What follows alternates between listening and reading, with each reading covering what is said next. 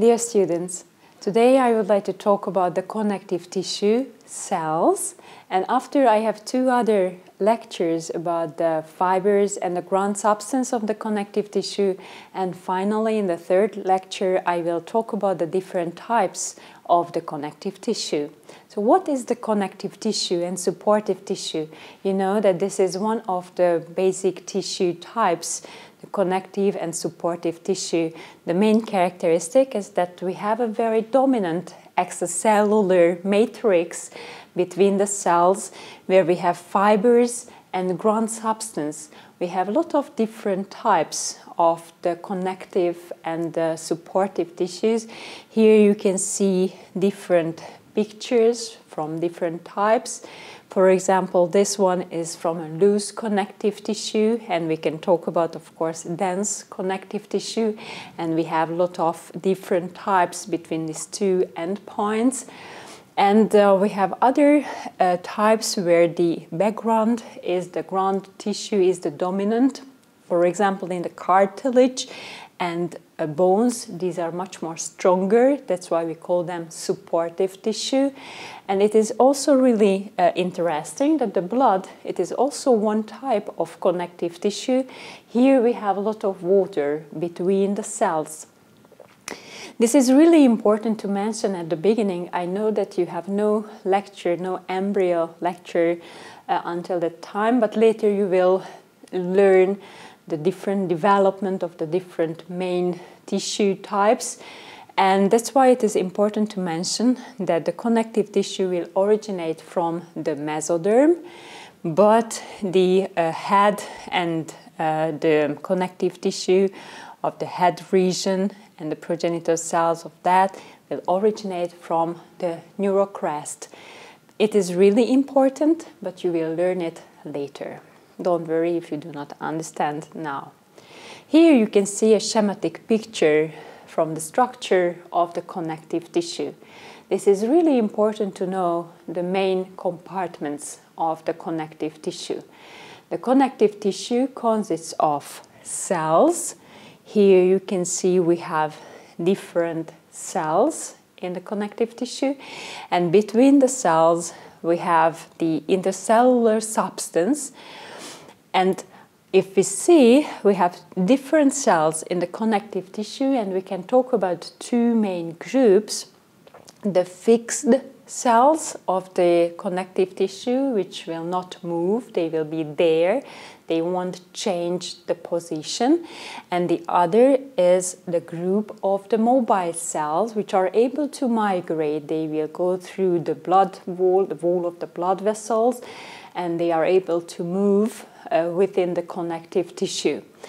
And uh, if we see the intercellular substance, there we can see fibers, we can find fibers.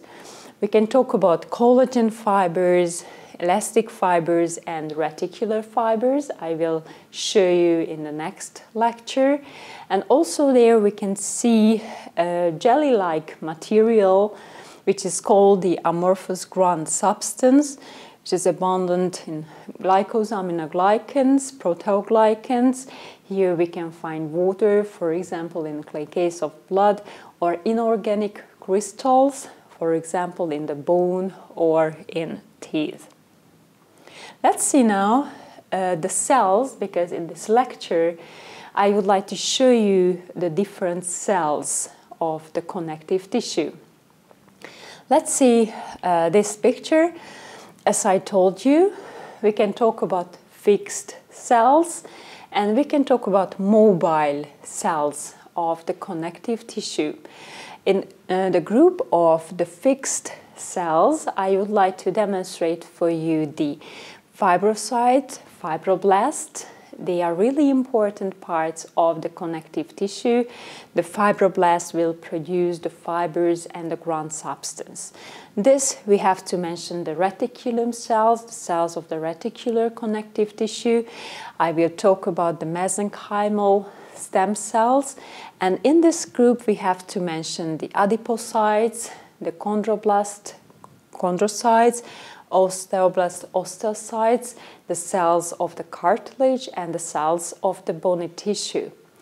And in the second group here you can see the mobile cells where I will show you the macrophages, the histiocytes, and uh, I will show you the mast cells, and I will show you the different white blood cells too, which the lymphocytes, granulocytes, which are also uh, one type of mobile cells in the connective tissue.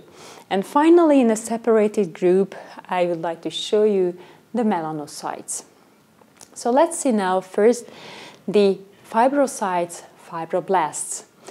This is, this cell is really important in the connective tissue because uh, the fibroblasts, who are the active cells, they will produce the fibers and the ground substance of the connective tissue. Here in this schematic picture, you see the collagen fibers.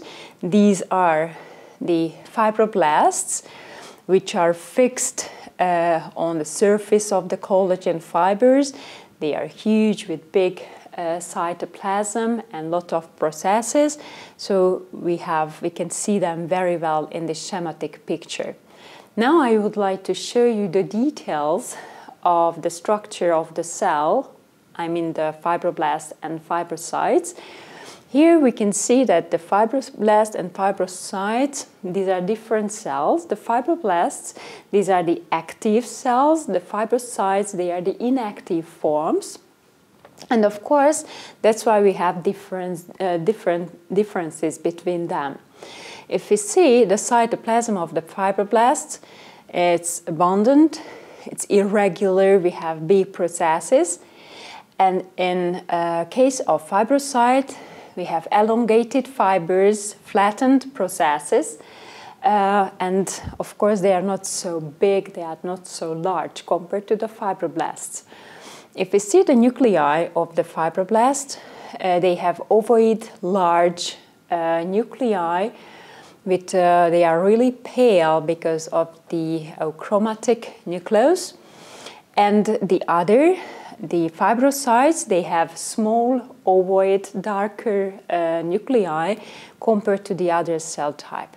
If you see the cytoplasm of the cells, uh, because the fibroblasts, they are active cells, that's why they have a lot of mitochondria within the cytoplasm and uh, well-developed Golgi apparatus and a lot of ribosomes and of course rough endoplasmic reticulum which is really important for the synthesis of the different molecules and because of the rough endoplasmic reticulum and the ribosomes these are basophilic.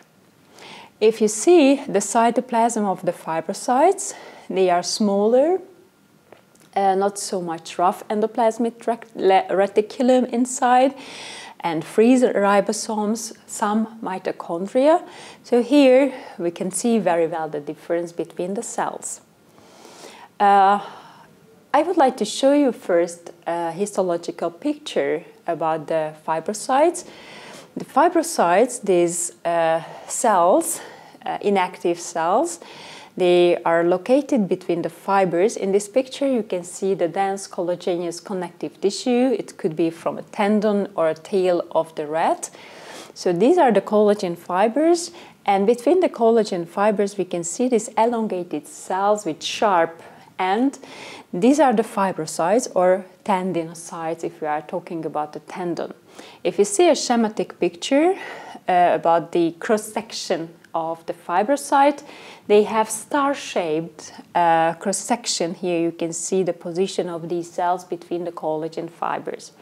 Similar structures are visible in the deeper part of the skin, which is a dense, uh, regular collagenous connective tissue, what we can find in the deepest part of the palm.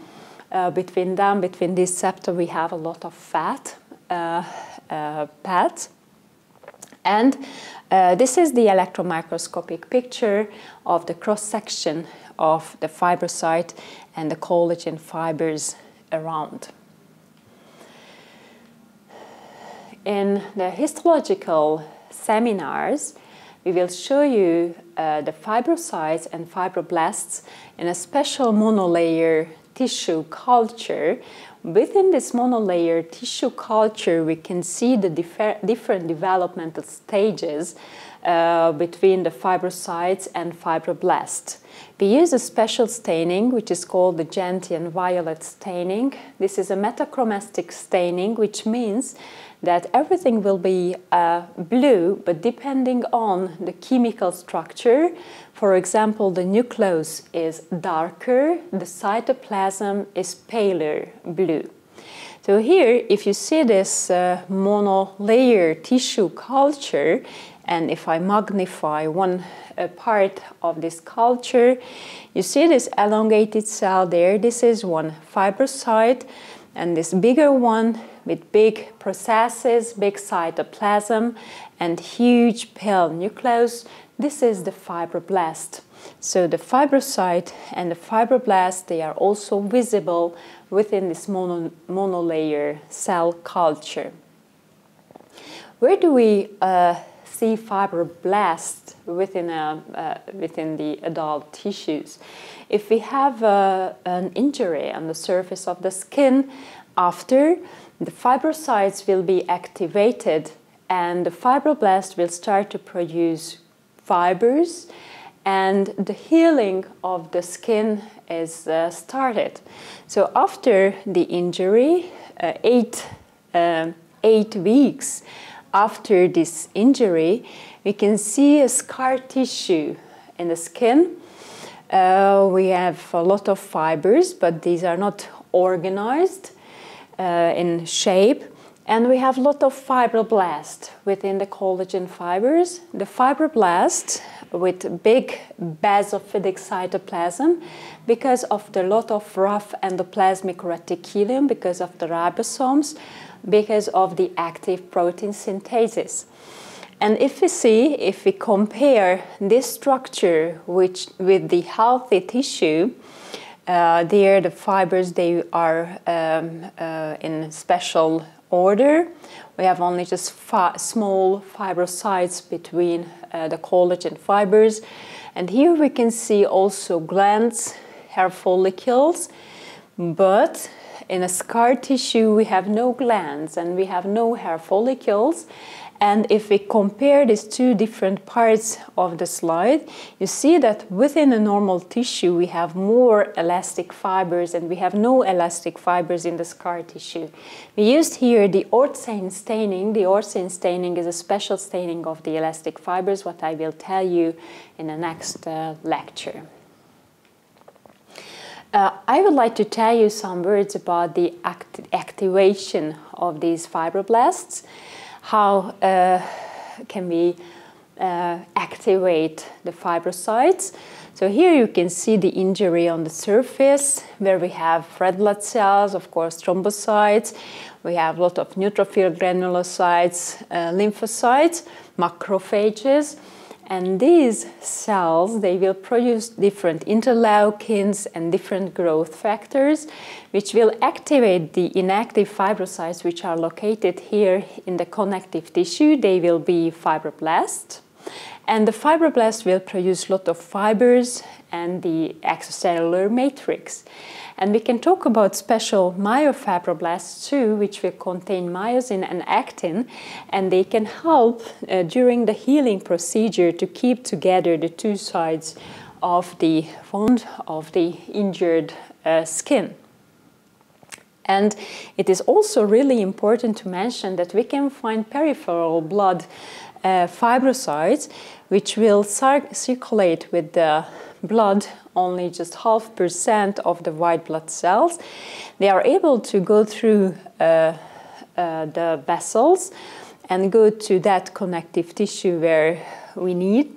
And uh, during the embryogenesis, they have really important, in, uh, really important function in the development of the connective tissue of the different organs.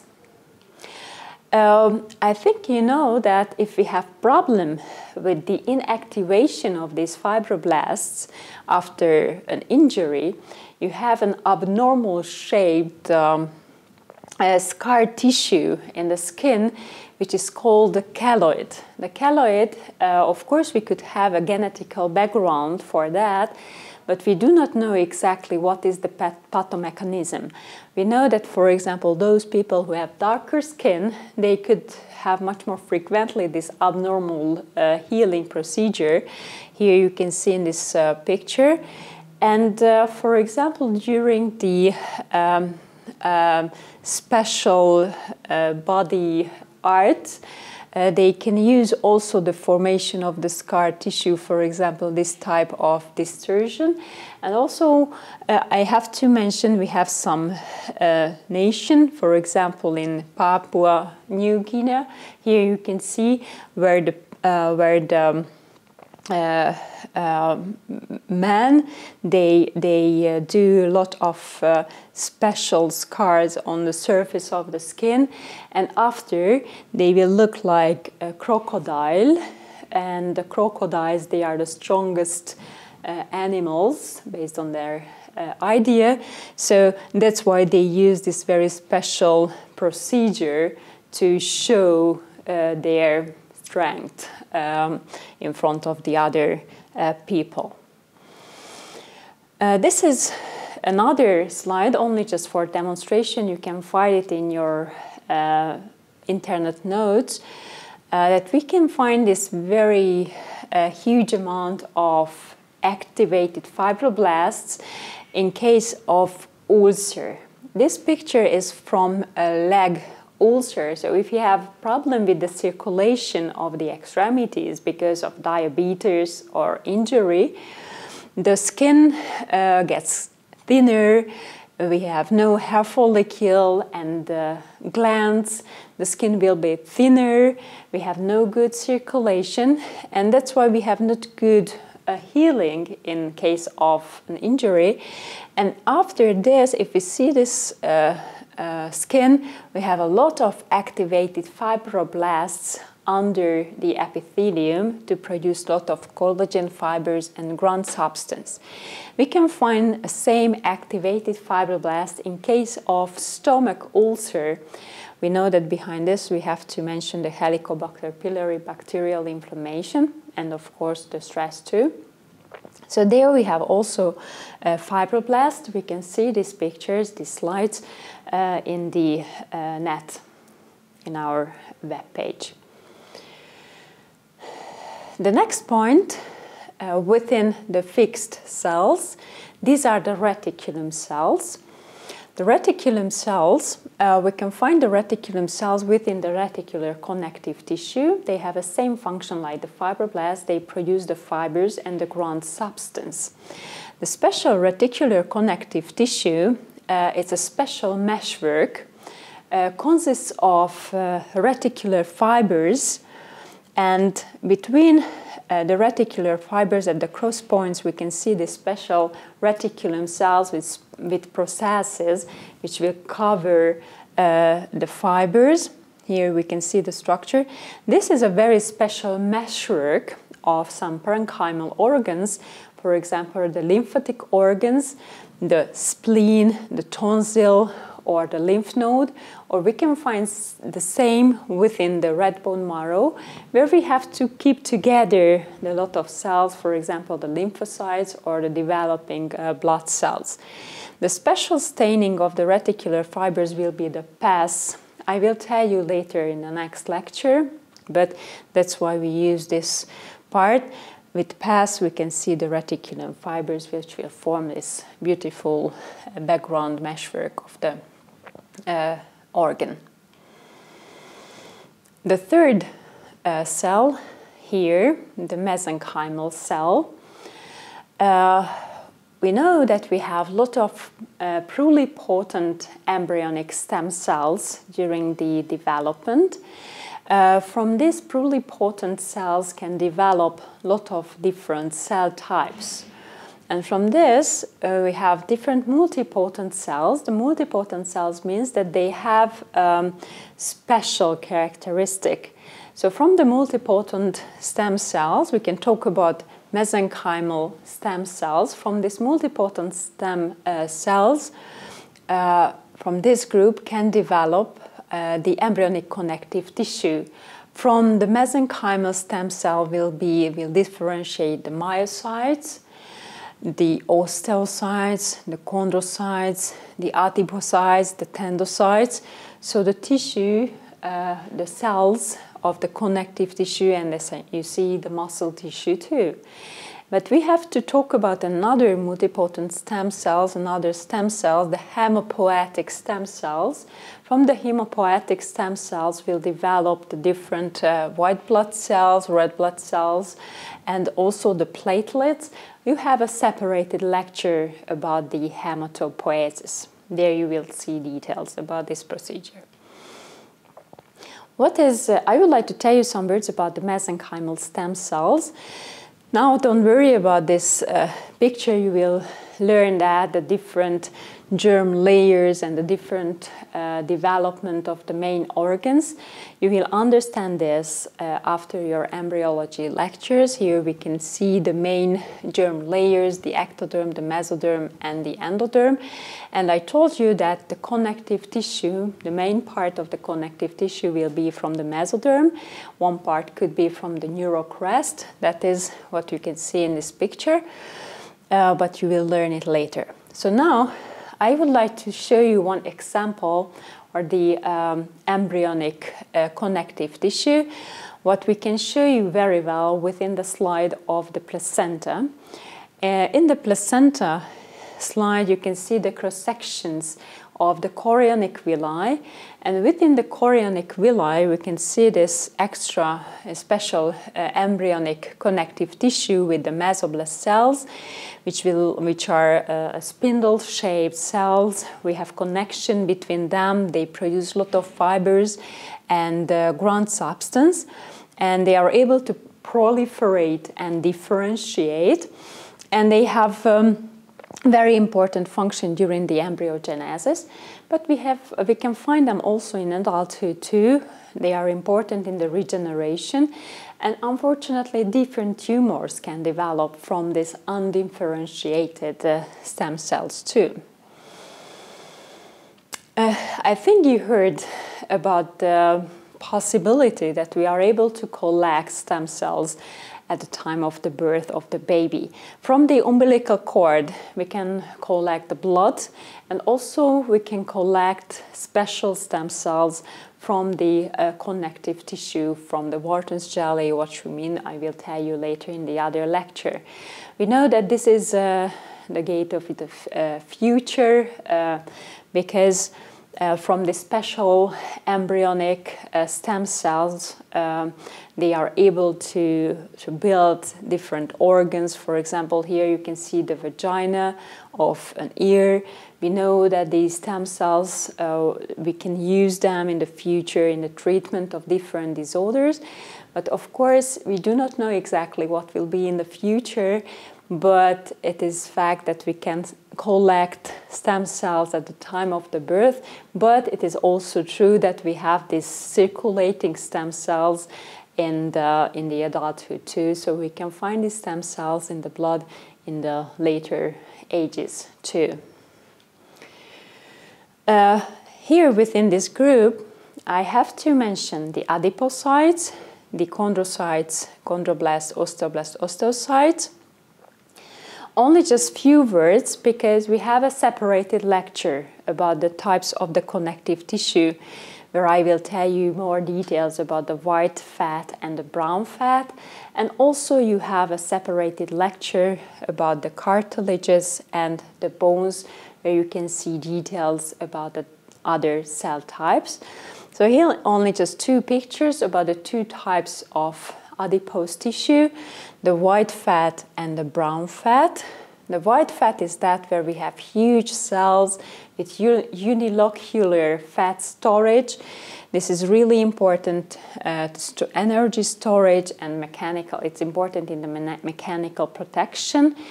And the brown fat here within the brown fat we have multilocular fat storages and there they are this is important in the thermal regulation because this uh, mitochondria they will produce a heat compared to uh, the white fat, but I will tell you details about this tissue later on. Let's see now the next group, the group of the mobile cells.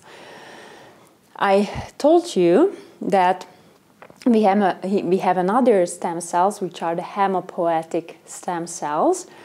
And from these hemopoietic stem cells will develop the lymphocytes one type of the white uh, blood cells and the granulocytes. Also from this will develop also the special monocytes macrophages and the platelets red blood cells too I have to mention those because those cells, these, those are the mobile cells of the connective tissue. So first, let's see the macrophages. The macrophages, they have a very special phagocytotic activity. 15 to 20 micrometer is the diameter of these cells. They are able to phagocyte different foreign particles. They have a lot of processes irregular cytoplasm. And if you see the electron microscopic picture, we have a lot of lysosomes within the cytoplasm to destroy the different uh, uh, particles. Here you see the macrophage within the connective tissue. This is called a histiocyte. This is the histiocyte. What's the function of the macrophages? As I told you, they have an important phagocytotic function. They uh, destroy foreign particles and they are also involved in the antigen presentation and the immune response reaction. And they are able to uh, phagocytose the different apoptotic cells and um, they produce a lot of enzymes, collagenase, elastase, which can help in the migration, in the moving movement of these cells. And it is also really important to know that they secrete a lot of interleukins, stimulating factors, growth factors, etc. Of course, it's not necessary to know all of this, but we have to know that they are involved uh, in this uh, uh, very, very complex procedure. We can find macrophages in the peripheral organs, and uh, these macrophages uh, within the periphery they will form a group which is called the mononuclear phagocytotic system. All of these cells they develop from the monocytes and after they go to the periphery and there they have phagocytotic function. The macrophage of the nervous system is called microglial cell. We will see it in the third semester. Uh, the special macrophage of the lung is called the alveolar macrophage. I will tell you some words about these cells. Histiocyte, I told you, the macrophage of the connective tissue. The Kupffer cell, this is the macrophage of the liver, for example. And in the bone, we can talk about the osteoclasts. They are also phagocytotic cells, which is interesting that they have more nuclei. You will see these osteoclasts, chondroclasts in the cartilage and the bone slides, bone formation slides mostly. So I would like to tell you some words about the alveolar macrophages. We can uh, call them heart defect cells. Why? We know that these are these alveolar macrophages. They are located within the uh, interalveolar septa, and they are able to phagocyte different parts, different dirt, what we have within the alveoli. And uh, they will phagocyte also those red blood cells too, which uh, pass through the wall of the blood vessels because of the huge uh, pulmonary uh, pressure. And in this case, and these macrophages will phagocyte these red blood cells and they start to fermentate the hemoglobin. And we have a dark uh, pigment which is called hemosiderin within uh, the uh, cytoplasm and they, are, they have a darker color. And we can see these dark cells within the sputum of uh, the patient and that's why when the doctors they saw these uh, dark cells within uh, the sputum of the patient they knew that here we have problem with the pulmonary circulation so that's why we call them heart defect cells. Oh, I'm sorry. After the next group is a group of the mast cells. The mast cells, they have special basophilic uh, granules within the cytoplasm, but it's not similar basophilic granulocytes what we have in the blood. They contain heparin, histamine granules, where we have prostaglandins, different uh, chemotactic factors, and uh, different substances which are important in the allergic reactions. Uh, they contain heparin and histamine, and that's why they will be PAS positive. Uh, if we stain with PAS the respiratory um, organs. For example, we have this slide from the uh, trachea where we have uh, pseudostratified columnar epithelium with kinocilia and under, the under in the connective tissue we have PAS positive cells which are the mast cells. And uh, because of these uh, very special uh, particles, they uh, with hematoxylin eosin staining, they will be basophilic. And also within the connective tissue, we can see eosinophilic cells too, the eosinophilic granulocytes, which are also involved in the allergical uh, reaction. So what's happening with the uh, mast cells? So first, when we meet first with the allergen, the cells. Uh, the B cells, the plasma cells, will produce immunoglobulins. And these immunoglobulins, they will attach to the surface of the mast cells.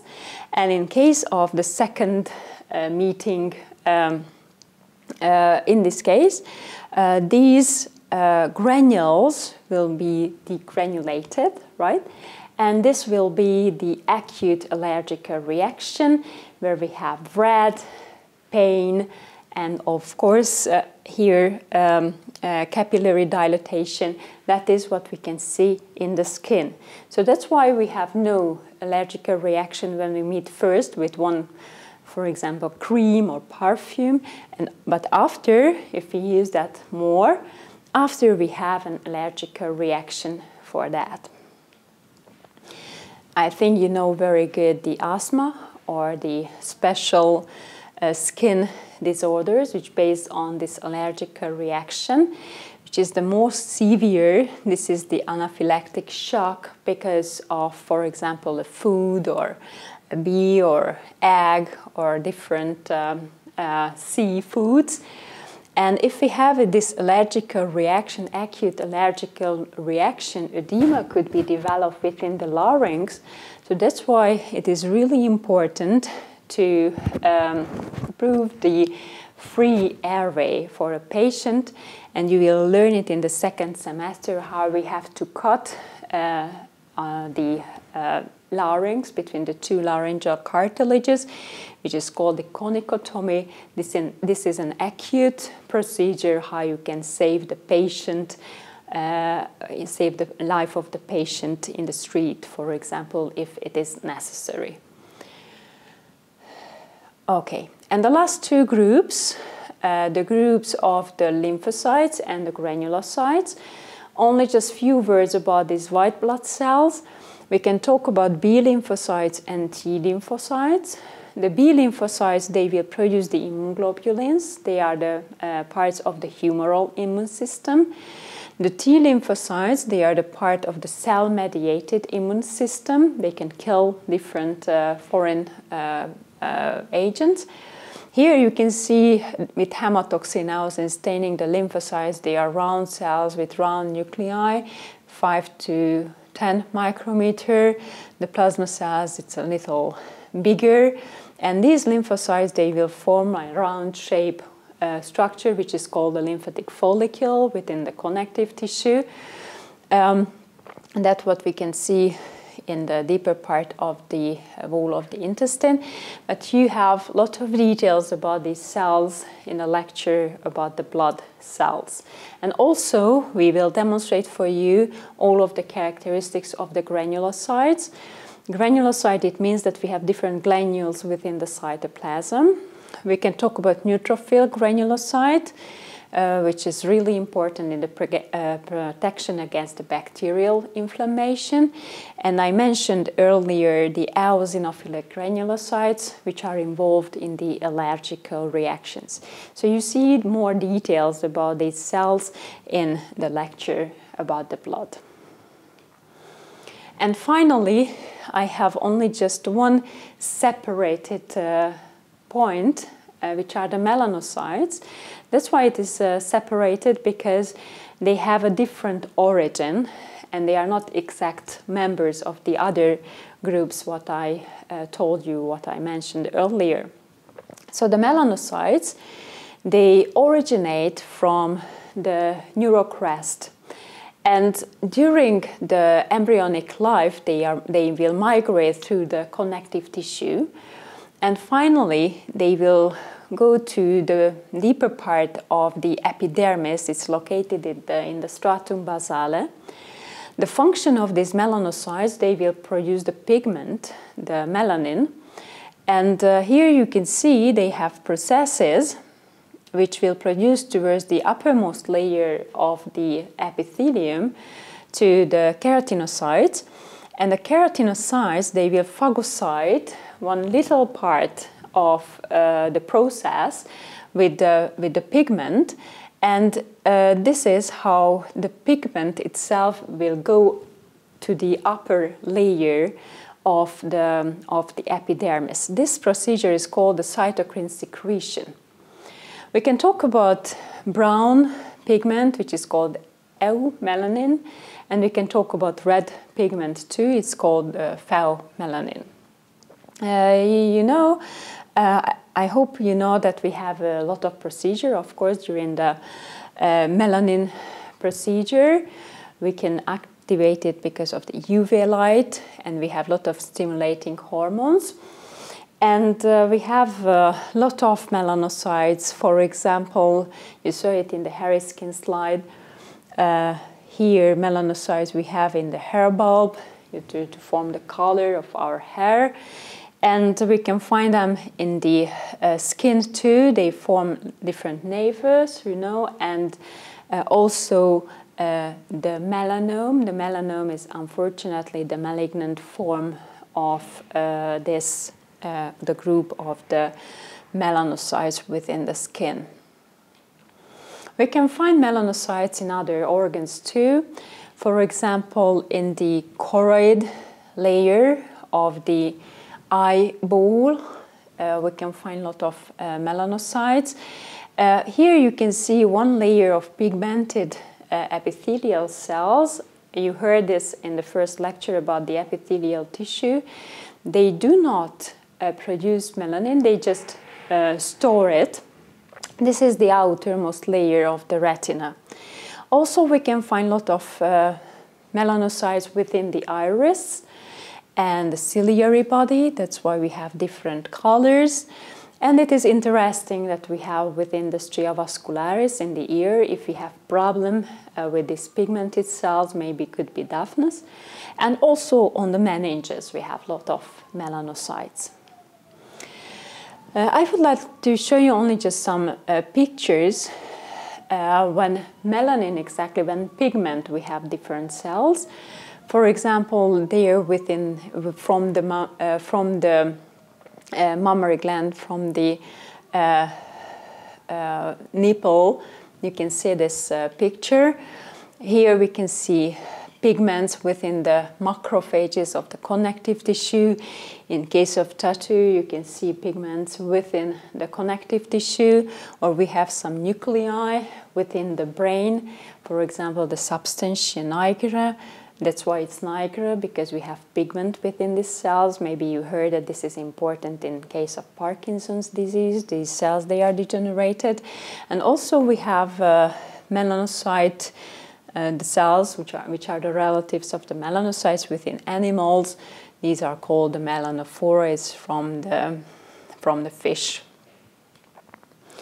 And finally, I would, I would like to tell you some words about the disorder of the synthesis of the pigment. Uh, if we have problem with the, uh, with the melanin production. In this case, those people, they have paler skin, you know, white hair, and um, this is called the albinism. The albinism is 1 to 20,000 in, in the European countries. It's much more frequent in uh, Africa, for example. And there, uh, those here, I would like to show you some very sad pictures because uh, uh here in Tanzania, for example, uh, the, the body parts of those people are used in, in uh, for example, used by different witch doctors because they think that the body parts of the albinos they have a very big, how you say, important uh, protective um, function, and it means lucky. For example, in case of the building of one uh, market, uh, for example. And unfortunately, that's why we have, we have these injuries with these babies, so they have to protect these babies against this uh, very aggressive uh, behavior. But fortunately, here in, in, Europe, they are in safe. We have a lot of beautiful albinos between us. I hope with this uh, picture, I wish you a very good study. I hope you learn a lot about the cells, and uh, we will meet next two lectures about the connective tissue. See you later.